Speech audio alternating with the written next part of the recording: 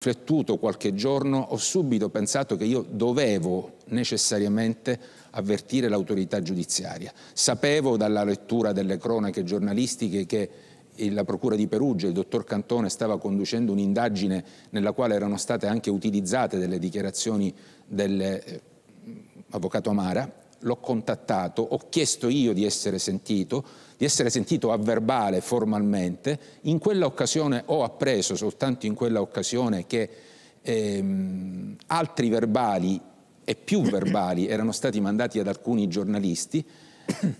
E successivamente, eh, quando questi verbali eh, hanno cominciato um, ad essere pubblicati, se, seppur sì. non nella parte che riguardava il consigliere Ardita da alcuni giornali, ho pensato che fosse venuto il, il momento di uscire fuori da quello che era ormai un tantam, un passaparola istituzionale non formalizzato e prendere la parola al plenum per spiegare quello che stava accadendo, perché sono convinto, questo lo anche detto al procuratore Cantone, che dietro ci potrebbe essere anche un tentativo di condizionare l'attività ecco, di un questo, organo costituzionale come il Consiglio Superiore della Magistratura. Questo è un punto molto non sono importante. personali. Cioè qui c'è un corvo, no? chiamiamolo così. Lei intanto ha un'idea di chi possa essere, eh, qualcuno che arriva da dentro il CSM o, o all'esterno, si è fatto un'idea? Lei in fondo Guardi. è un investigatore, no?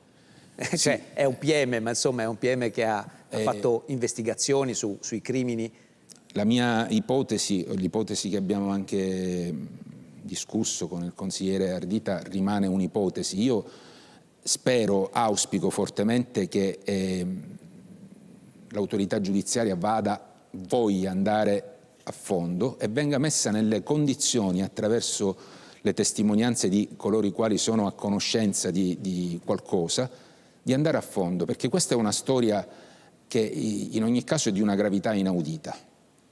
E mi lasci dire che eh, sarebbe assolutamente e ovviamente grave se questa loggia esistesse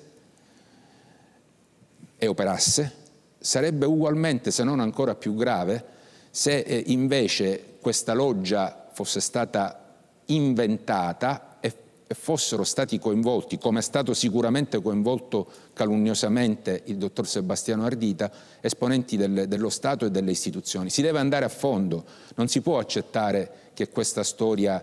Eh... Cosa, cosa, volevano colpire secondo lei? Cioè, lei e Ardita in particolare, c'era un provvedimento, una misura, una riforma che, su cui state lavorando?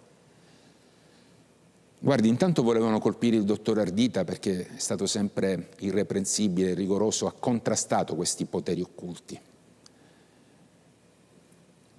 Con il dottor Ardita noi ci stiamo impegnando con grande forza perché siamo consapevoli che eh, alcuni mali eh, si sono diffusi come un cancro all'interno della, della magistratura.